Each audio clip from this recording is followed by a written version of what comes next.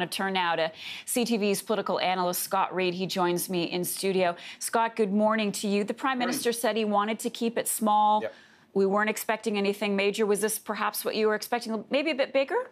with five people being moved around? Well, I think it's the most important aspect of the shuffle is that it's not that important. Um, and I don't mean that in a glib sense, but it's not unnatural for us to expect. At this point in the mandate, six months from now, there's going to be an election. Does the Prime Minister bring in a throne speech? Does he really do a shake-up of his cabinet, bring in a bunch of new faces, try to energize it?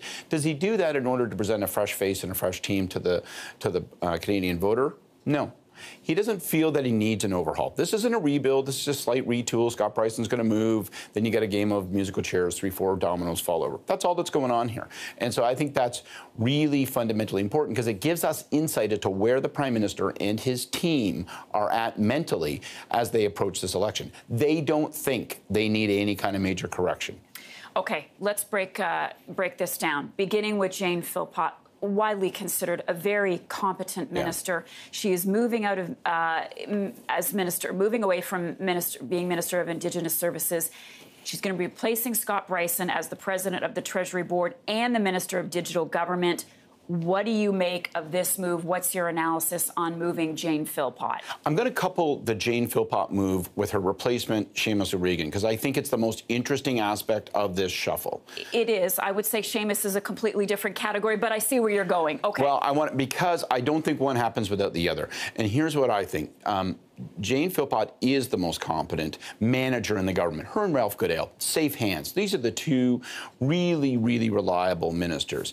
And I think if you look back, remember when the Prime Minister created the portfolio of Indigenous Services and put Philpott in there? The thought was this we, as a government, says the Prime Minister, have raised expectations around Indigenous services, around uh, progress on, on the Indigenous file, and we've got to make progress, not just in terms of the right to rights uh, basis, not just in terms of the nation-to-nation relationship, but just in terms of the basics, you know, the bread and butter file. He put Philpott in there to get that moving. Now he takes her out, and puts in a guy like Seamus O'Regan. Why?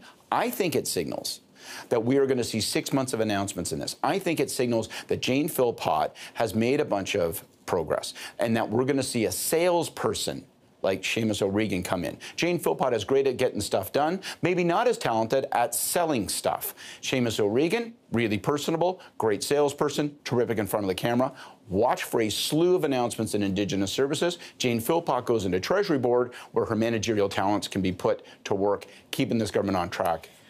What, though, Scott, about Seamus O'Regan? To some people, is is out of touch. Right. He showed a lack of sensitivity when talking about veterans. Uh, he was widely criticized by veterans uh, and by the conservatives as well, obviously. That's right.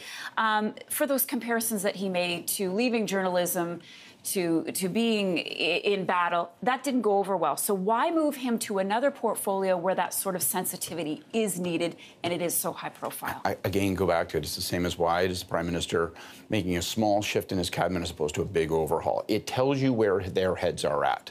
They have confidence in Seamus O'Regan. There's no question. That was a bad gaffe. That you know well it's a lot like uh, a lot like when I had to leave broadcasting. It's not the same. I he stepped in it. I think everyone knows he stepped in it. The question is, yeah, in this day and age, the opposition, social media light up on the guy. The prime minister and his team still have confidence in him. They still think he's one of their most telegenic, mo one of their most capable communicators, and they want him in a portfolio where they can use those sales talents. So it means fundamentally, though observers may say there's a knock on Seamus O'Regan, PMO doesn't think so. What about Jody Wilson-Raybould? She's leaving yeah. um, uh, her position as Minister of Justice and Attorney General. She's becoming the Minister of Veterans Affairs. Some people see this as a minor portfolio. Is this a demotion for her? Yes, it is.